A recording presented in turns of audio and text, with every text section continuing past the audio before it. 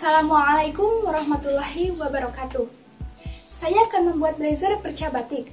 Alasan saya mengambil bahan dasar kain batik karena batik merupakan ciri khas dari berbagai daerah, sehingga blazer bersifat kedaerahan.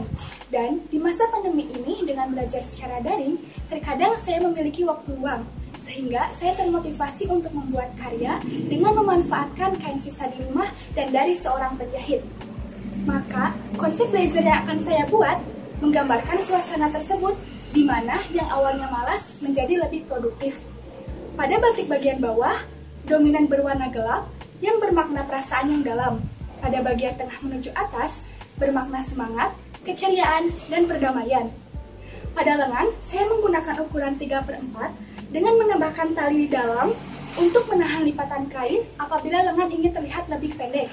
Pada bagian depan dan belakang, saya menggunakan pola batik mengkerucut ke bawah harapan agar kehidupan semakin naik.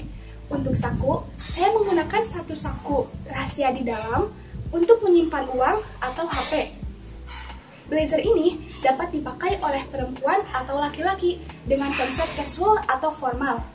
Teknik yang akan saya gunakan yaitu teknik memotong dan menjahit. Berikut adalah alat dan bahan serta proses pembuatannya.